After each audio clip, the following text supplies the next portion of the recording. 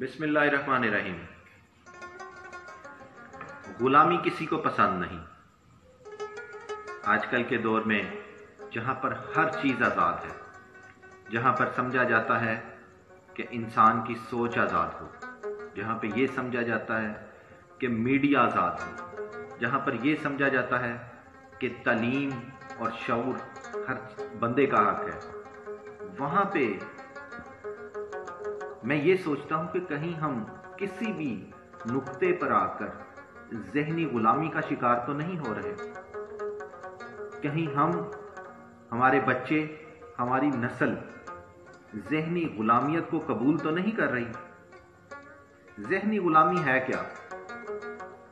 हम आजकल के दौर में हर वक्त कंपटीशन में रहते हैं।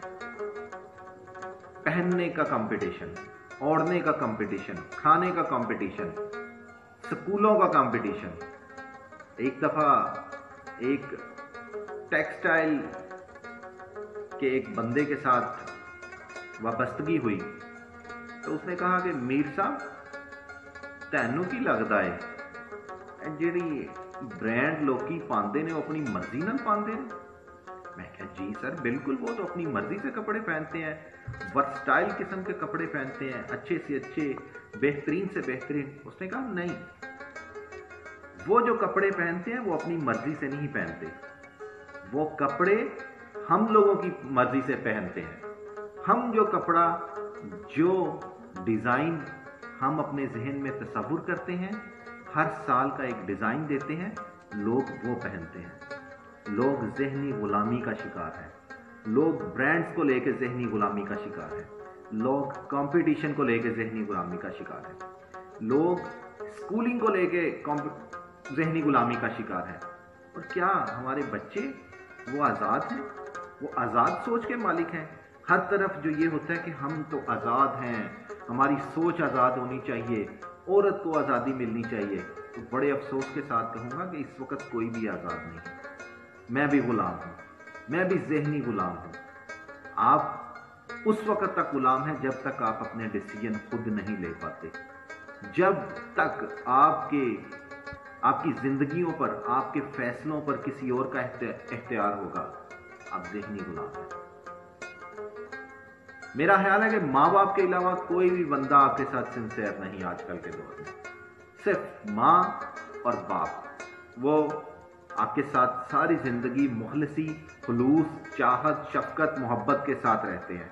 उसके अलावा दुनिया का हर बंदा कहीं ना कहीं आपके ऊपर बॉस बना हुआ है। कहीं ना कहीं अपने फैसले आपके ऊपर ठोंसता है। कहीं ना कहीं आपको तजहीक का निशाना बनाता है। या तू ऐसी पा लेता है, ऐसे नहीं सी होना चाहिए। यार तू ऐसी नौकरी कर रहे हैं वो तेरे को गड्डी ऐसो चाहिए यार तू की कर रहे हैं तो हमें अपने फैसलों के ऊपर बाख्तियार होना चाहिए। हमें ये सोचना चाहिए कि हम जो पहन रहे हैं, वो हमारे लिए बेहतरीन है, वो हमारे लिए उम्दा है। हम उसके बारे में किसी भी कॉम्प्लेक्स का शिकार नहीं है। हम नौकरी करेंगे तो उस पर भी हमारा फैसला होगा। हम सोचेंगे कि क्या हमारे लिए ये वाला काम अच्छा है या ये वाला काम जब तक हम डिपेंडेंट होते हैं, हम जहनी गुलामी का शिकार हैं। माए अपने बच्चों के ऊपर अपने शुरू से ही फैसले ठोंसती रहती हैं।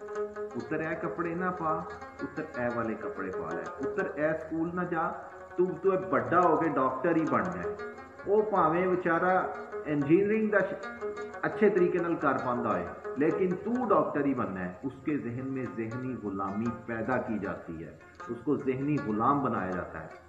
तो मैं आप सबसे रिक्वेस्ट करूँगा, ना खुद जहनी गुलाम बने, ना अपने बच्चों को जहनी गुलाम बनाए और अपने अंदर लीडर की क्वालिटीज़ पैदा करें। अपने डिसीजंस में, अपने फैसलों में बाहत्यार रहें। शुक्रिया।